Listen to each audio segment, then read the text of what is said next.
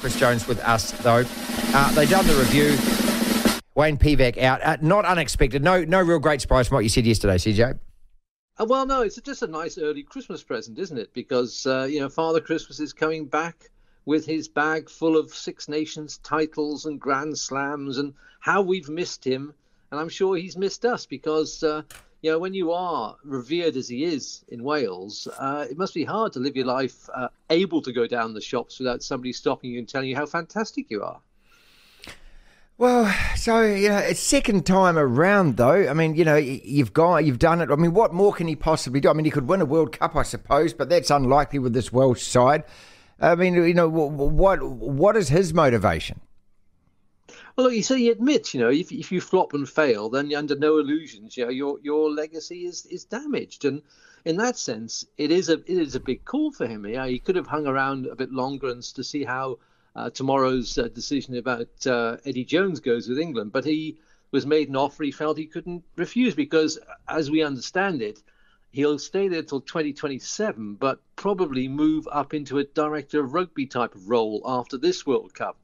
And I think he, he can see that there are so many inherent problems in Welsh rugby, and he does know it well now for the time he spent here already, that he thinks he can help shape uh, the sport in Wales into something approaching a workable business, which at the moment it's not. Although just doing Gatland things, just by signing the deal, the clubs have at the same time all agreed central funding, which has been going on for months and months and months. But the arrival of Warren they've even sorted that out.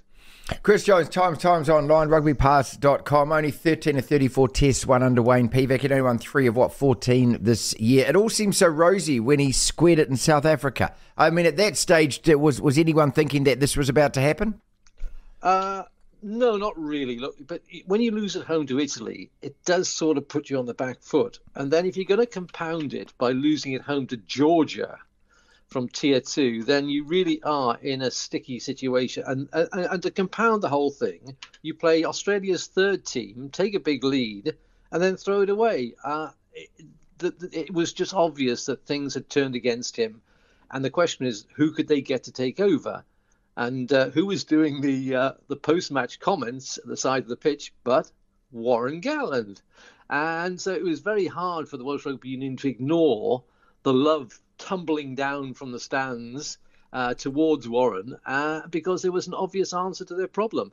I mean, Wayne has done a really, really good job off the pitch. He's been incredibly successful. He's done an awful lot of stuff behind the scenes.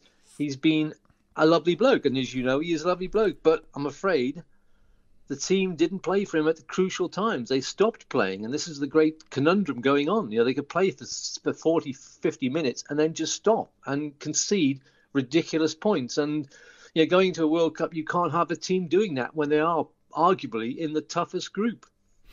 Chris, so you know, the, the, I'm just reading from the CEO here. He says, look, he's undoubtedly going to be able to make an immediate impact, just as he did when he joined us for the first time in 2008.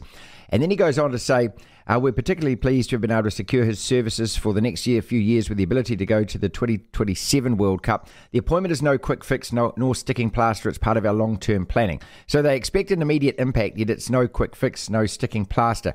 You, seriously, though, you would have to think that, that this is about the World Cup, isn't it? This is about rewriting this ship before the World Cup, first and foremost. It's about avoiding uh, an embarrassing situation where they go to the World Cup under underperformed badly in a group including you know, Fiji, Georgia, and that country called Australia, and you know not making you know the knockout stages, which would be an absolute slap in the face. I mean, last time, if you remember, last time Wales went to uh, the World Cup in France, they managed to mess it up uh, and not make it through to, to, where they should have done because Fiji knocked them out. And uh, I still have the image in, in, in the harbour in Marseille of this massive catamaran with a huge, the biggest Welsh flag you've ever seen in your life, which had been moored there for the knockout games.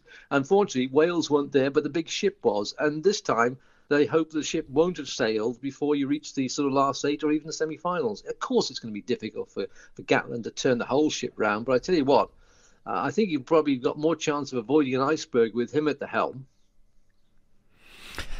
Also, the Welsh Rugby Union, New Zealand Rugby have reached agreement with immediate effect. Uh, so you know they've, you know, I don't know whether any money's changed hands or anything, or whether they've just agreed. He he'd never worked for with the Chiefs. What is is is there such a thing as being able to coach down this part of the world and being able to coach up your end of the world, or is that just some kind of a myth, or I'm making it up?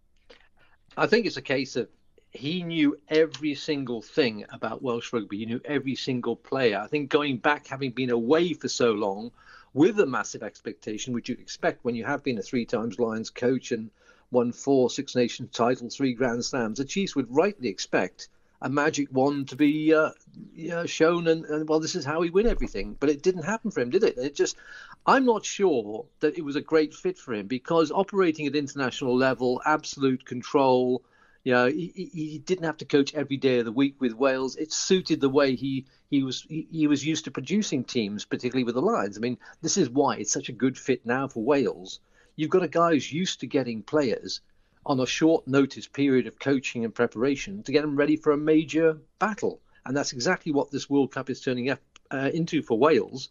And so they've got the best guy who's used to doing that. He's used to firefighting. He's used to dealing with uh, not having the players he wants for you know because the club's holding on to them, and that will be the case now because some of the players you know are out of the country at the moment. You know, Dan Biggar's down at Toulon.